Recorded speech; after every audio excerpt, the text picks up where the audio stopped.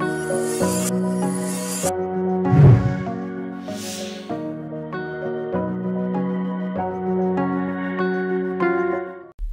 so hello everyone welcome to my youtube channel. I hope you guys are doing great. And today's video i'm going to talk about a very common problem which is everybody is facing while doing the rigging basically. So what is the problem? So whenever you try to link your bone with your body you got a little warning. It's called basically bone heating problem. Okay so finally i got a solution and here i'm just going to present this solution. So make sure you watch this tutorial till end. So now let's start the tutorial. So right now on my screen you can see guys here i have one little character and i have already created the bone according to my uh, character basically. So first of all i'm just going to show you what is the problem exactly and what is happen when you try to uh, link your body with your bone. So here you can see i will select my body first of all. Then i'm just going to select my bone and i will just press the control p. And here i will just select the with automatic weight so here you can see you will see little warning here basically. Okay? If i'm just gonna open this warning so you can easily see bone heat weighting failed to find solution for one or more bones. So alright guys. So now we will just talk about firstly why it's problem happen and what is the solution. So there is a two reason behind it. Maybe first of all you have a double mesh into your body basically and maybe you have double vertices as well.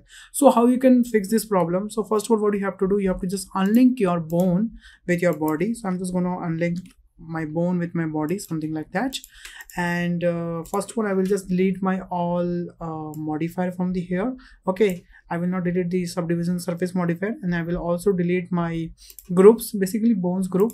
Here you can see i'm just going to delete all groups something like that. And i will just select my model. And first of all i will just going to convert into a mesh once more. Okay and after that what i'm going to do i will just go to edit mode of my character. And uh, I'm just gonna select my all vertices pressing the A okay and then I'm just gonna press the M and I will just select the merge by distance. And here you can see 7584 vertices are removed basically. Okay now here you can see you can also decrease and increase the uh, distance of the merging basically. But by default 0.0001 is fine and it's working nicely. It will not deform your mesh. It will not harsh your mesh. So make sure whenever you merge your uh, uh, vertices. So keep the value same. Here you can see on my screen. Okay. So now again we will just try to link our bone with our body. So now what i'm to do i'm just to select my body first. Then i'm just to select my bone and i will just press the control p and i will just do with automatic weight. So here you can see that is processing basically. So here we go guys. Here you can see our bones is successfully linked with our body. And if you want to check it so what do you have to do you have to select your bone and then you have to just go to your pose mode and you can just move your bones and you can see it is nicely working. That's great.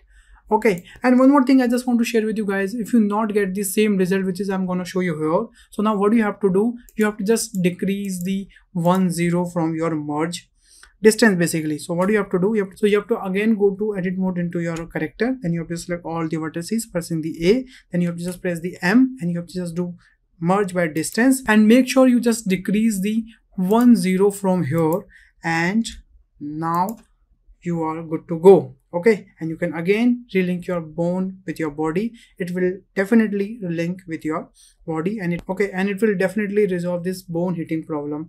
That's my promise to you guys. Okay? So that's it for this tutorial guys. And if you found this tutorial helpful for you so make sure comment down below and give your valuable uh, feedback towards my video. And you can also like my video as well. So thanks for watching this video guys. If you learned something in this video please hit the like button the share button and subscribe my channel also. If you have any queries if you're in the station please let me know in the comment box. I will definitely reply comment. So bye bye take care and stay home guys